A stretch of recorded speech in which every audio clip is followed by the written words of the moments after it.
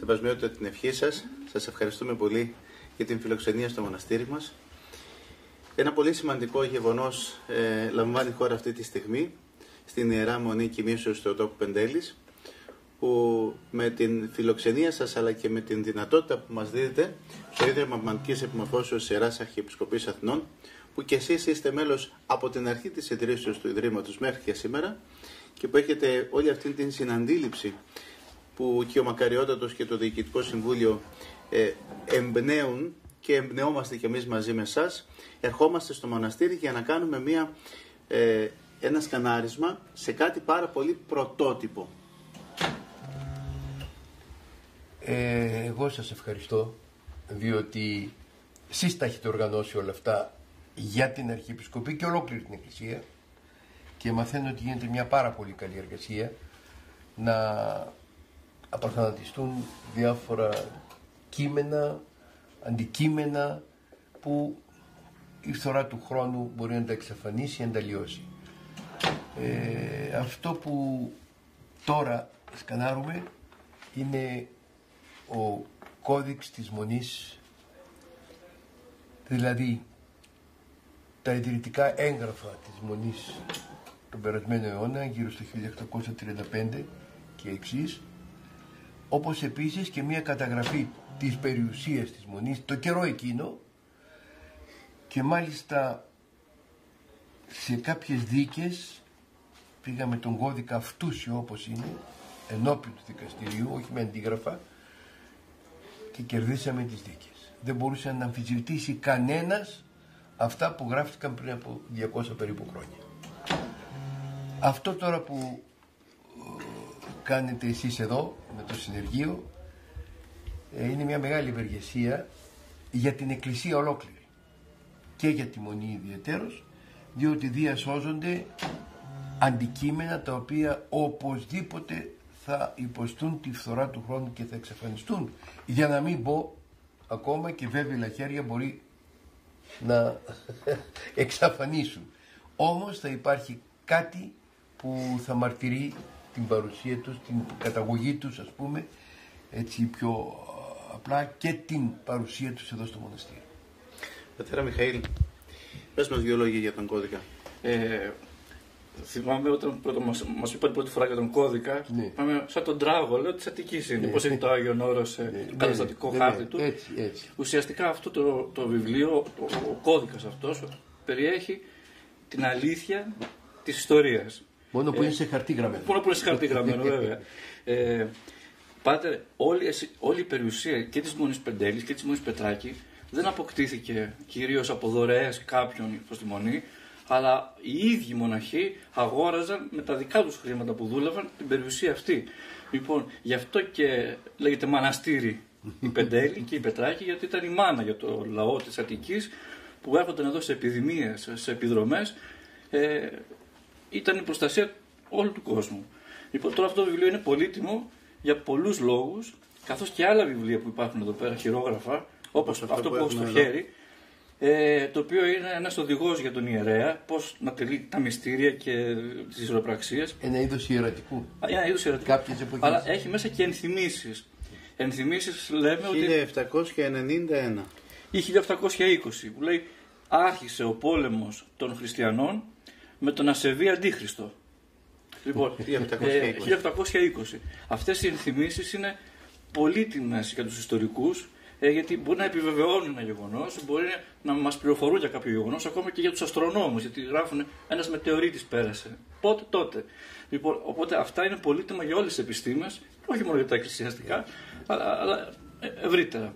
Ε, το ότι σώθηκαν όμως αυτά, καθώς η περιουσία της Μονής γνωρίζουμε όλοι ότι κάηκε το 1821 στο μετόχι της Αγίας Δύναμης όπου φυλασσόταν, το ότι απέμειναν αυτά τα λίγα έστω, τα πολυτιμότερα όμως, είναι πολύ σπουδαίο γεγονός.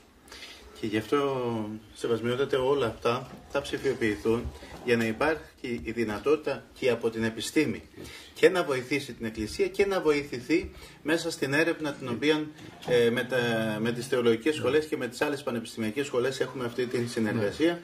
Είναι πέντε καθηγητές οι οποίοι συμμετέχουν σε αυτό το πρόγραμμα από τρία πανεπιστήμια διαφορετικά και πιστεύω αυτό το οποίο λέει και ο Μακαριότατος ότι ε, είναι ένα γεγονός για την Εκκλησία μας, το ότι η Ιερά Αρχιεπισκοπή μετά από λίγους μήνες θα έχει ψηφιοποιηθεί πλήρως. Όλα τα βιβλία, όλα τα ιερά σκεύη και αντικείμενα και λείψανα και θα ξέρει η κάθε ενορία τι έχει και μέσα από όλη αυτή την ψηφιοποίηση και ακόμα και μια ενορία παράδοση παραλαβή που θα κάνει πλέον θα γίνεται μέσα από αυτόν τον τρόπο.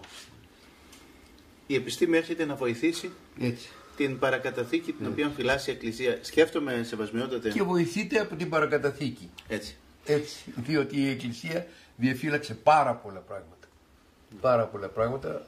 Εμείς δεν έχουμε γιατί είχαμε αλλεπάλληλες πυρκαγιές εδώ και δηλαδή η ιστορία του μοναστηριού είναι πολύ λίγα χρόνια του, του παρόντος μοναστηριού. Παρά τα αυτά, να κάτι τι έχει απομείνει.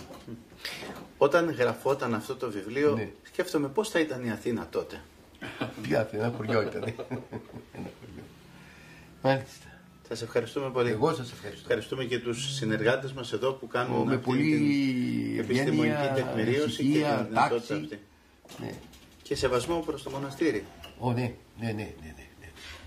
Δεν έχω παράπονο. Έτσι. Το όρος της Πεντέλης, από την αρχαιότητα μέχρι και τις ημέρες μας, ε, κοσμείται με μια ιερότητα. Χαρακτηρίζεται από μια ιερότητα, είναι ένα ιερό όρος ε, των Αθηνών, της- της Αττικής γης.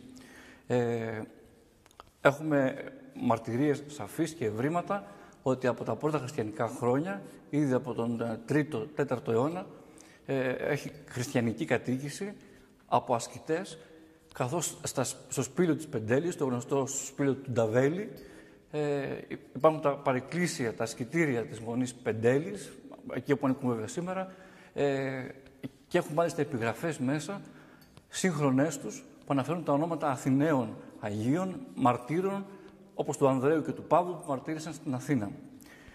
Ε, καθ' όλη την διάρκεια των χριστιανικών ε, χρόνων, η Πεντέλη ήταν γεμάτη από ασκητήρια μοναχών. Γι' αυτό και σήμερα υπάρχουν τα πάρα πολλά ασκητήρια τα οποία στολίζουν το όρος. Το 1578 ο επίσκοπος Ευρύπου, ο Άγιος Τιμόθεος, καταγόμενος από τον Κάλαμο, ένα χωριό στους βόρειους πρόποδες της, του όρους της Πεντέλης, ε, φεύγει εξόριστος από τη Χαλκίδα, τον Εύρυπο που ήταν η μητροπολιτική του έδρα και καταφθάνει στην πατρίδα του τον Κάλαμο. Φιλομόναχος και μονήρης όπως ήταν, ε, καταφεύγει στο όρος της Πεντέλης για προσευχή και ησυχία. Εκεί λοιπόν έρχεται αντιμέτωπος με τόσους πολλούς ασκητές, οι οποίοι, όπως αναφέρει και ο ίδιος, ήταν εγγράμματοι και σε μια κυριακάτικη λειτουργία που μαζεύονταν όλοι για την τέλεσή της, επειδή έβρεχε, τους έκανε την πρόταση να μην ταλαιπωρούνται ε, από τον κόπο της ε, οδηπορίας, αλλά να έρθουν όλοι μαζί να μείνουν επί το αυτό. Και εκείνοι δέχτηκαν πολύ μεγάλη χαρά και έτσι ξεκίνησε η ιδέα της ε, ίδρυσης ενός μοναστηριού. Ψάχνοντας ο Άγιος Τιμόθεος στον κατάλληλο τόπο, φτάνει σε ένα σημείο όπου μέσα σε μια βάτο, ενώπιον μάλλον μιας βάτου, ε, ήταν ένας κεκοιμημένος μοναχός και στο στήθος του ή πάνω στη βάτο, όπως λέει η παράδοση, ήταν η εικόνα της Παναγίας. Αυτό θεώρησε ως σημείο ο Άγιος Τιμόθεος και έτσι ίδρυσε την ε, μονή της κοιμήσεως της Θεοτόπου της Πεντέλης. Ένα μοναστήρι το οποίο συνδέεται στενά με την ιστορία των Αθηνών και της Αττικής, καθώς ε, η δράση και η φιλανθρωπία των πατέρων καθ' όλη τη διάρκεια της, της τουρκοκρατίας και τα χρόνια που ακολούθησαν ε, ε, είναι ονομαστή τουλάχιστον για τους Αθηναίους. Αξίζει να σημειώσουμε ότι τα πολλά κοιμήλια τα οποία είχε αποκτήσει η Μονή δυστυχώς καταστράφηκαν στην Επανάσταση του 1821 καθώς είχαν μεταφερθεί για φύλαξη στο μετόχι στο κέντρο των Αθηνών στην Αγία Δύναμη. Στην οδό Μητροπόλεως, σήμερα που γνωρίζουμε το μικρό εκκλησάκι. Ένα από τα κοιμήλια τα οποία ε, σώθηκε, διασώθηκε ήταν η κάρα του Αγίου Τιμοθέου, η οποία εκείνε, εκείνες τις ημέρες που έγινε η καταστροφή βρισκόταν στο γειτονικό νησί της Αίγινας. Αξίζει να σημειώσουμε ότι από τη Μονή πέρασαν ως ηγούμενοι πολλοί λόγοι μοναχοί από μεγάλες οικογένειες των Αθηνών, οι οποίοι και κατέγραψαν την ιστορία της Μονής λεπτομερώς και μας παρέδωσαν σήμερα ε, όλα όσα γνωρίζουμε και για τη Μονή και για την ιστορία των Αθηνών, αλλά και εν γέννη της ελληνικής ε, νεότερης ιστορίας.